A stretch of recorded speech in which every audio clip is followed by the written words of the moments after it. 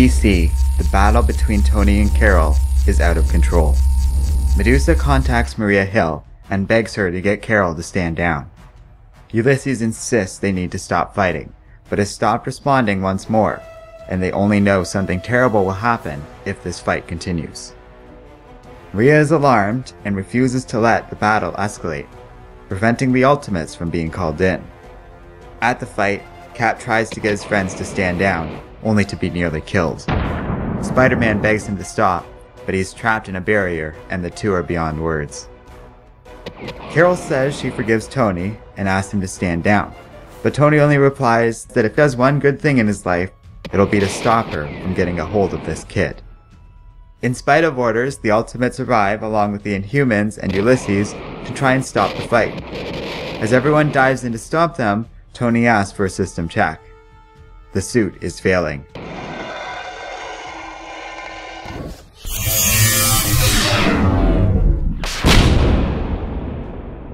Ulysses' eyes begin to glow, and everyone finds themselves in a strange void. Carol asks what they are seeing. Ulysses answers, the futures.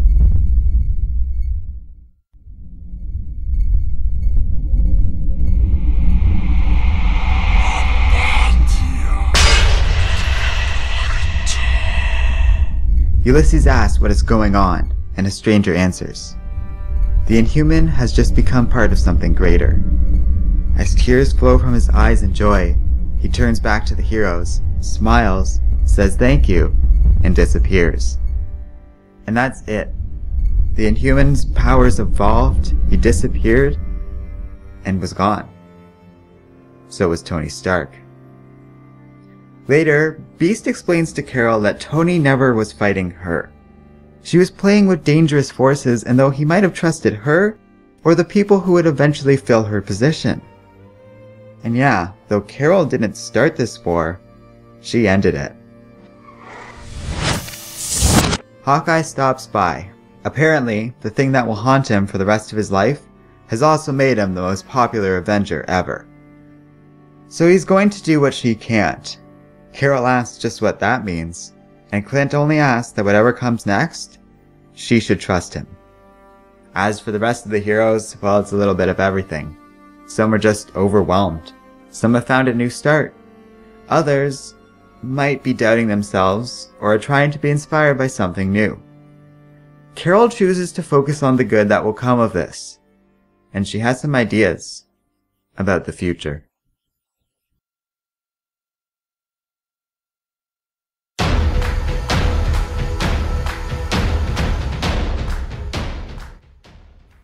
Hello and welcome to Comic Island.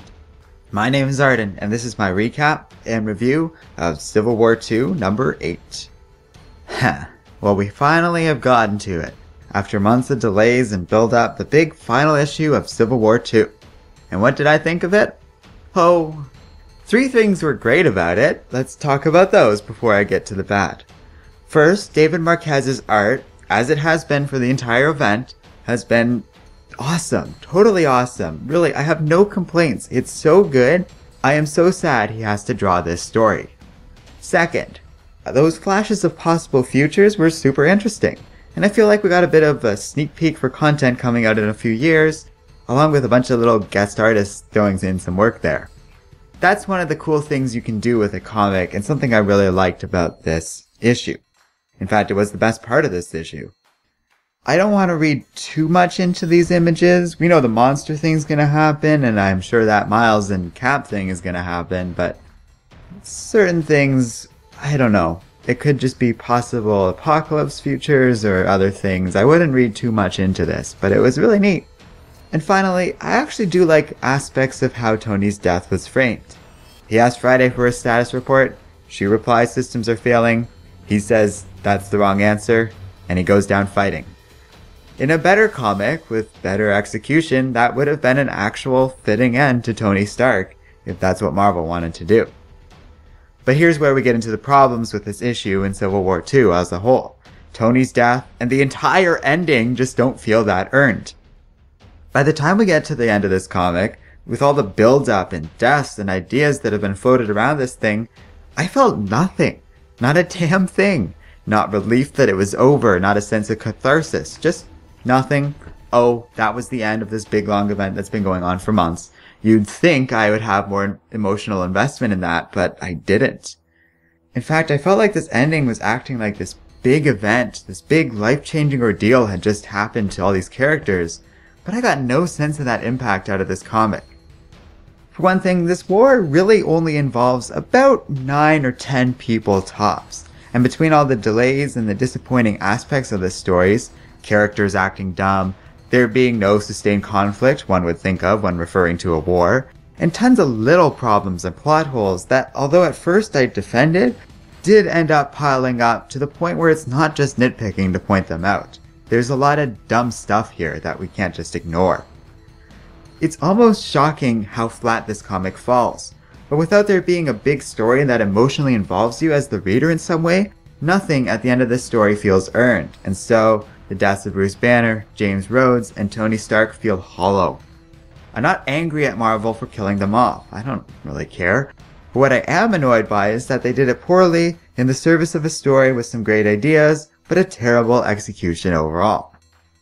Miles Morales feels like the only person who behaves correctly in all of this, while everyone else, like, geez, Say what you will about Tony Stark from the first Civil War. He never personally killed somebody with his bare hands.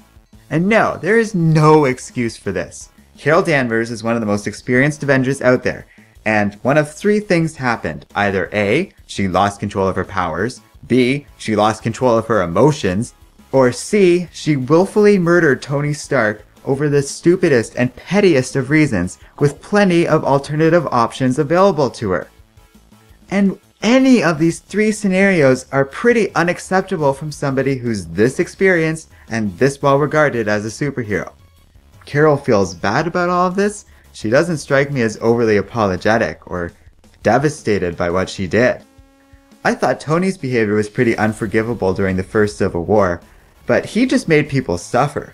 Carol kills them!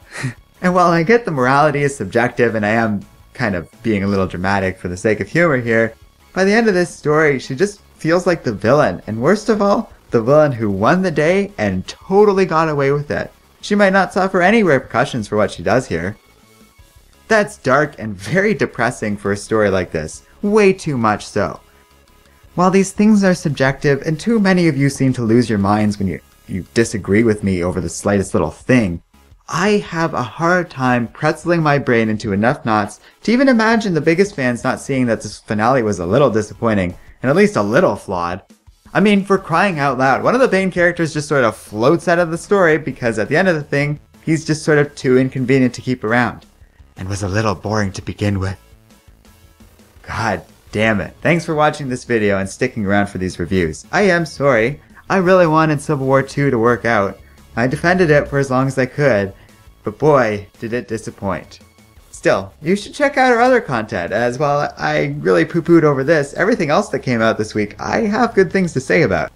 Because where Marvel has failed, DC seems on track to succeed. And these days, I'm way more excited to see what the rest of Justice League vs. Suicide Squad has, rather than deal with the flawed mess that this story is any further. If you like Comic Island and want to support our channel, consider checking us out on Patreon. Supporters get cool benefits and help us make more videos for you. Thanks again, and don't forget to like, subscribe, and keep reading comics.